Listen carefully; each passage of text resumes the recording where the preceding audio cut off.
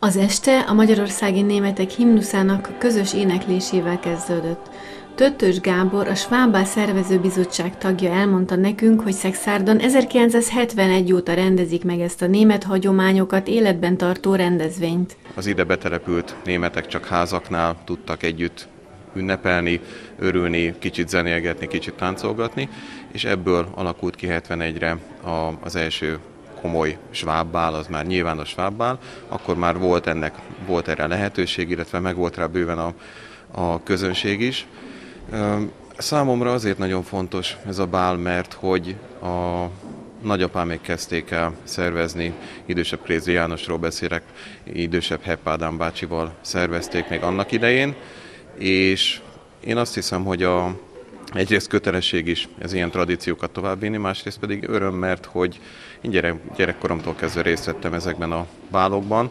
A Mórágyi Német Nemzetiségi Néptánc együttes fellépésével kellően vidám hangulatot teremtett a bál kezdéséhez.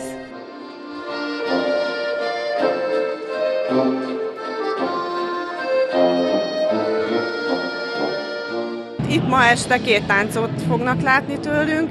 Az egyik a Briber István koreográfiája, a Brembergi tánc, ez egy nagyon dekoratív, szalagos táncnak is hívjuk, mert az elején egy ilyen lányok egy fonással kezdenek, egy szalagot, egy rudra fogják ráfonni a szalagot. A második táncunk pedig az Auf der Vogelwiese címet viseli, ez egy saját koreográfia, ez pedig egy vidám, vidám kis tánc, aminek reméljük, hogy nagyon örülni fog a közönség.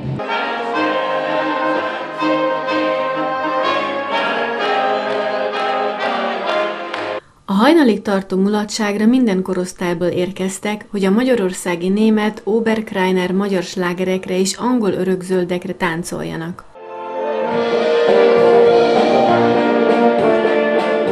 Az első svábbál úgy emlékszem, hogy a, a Gementszállóban volt, és akkor még több zenekar játszott.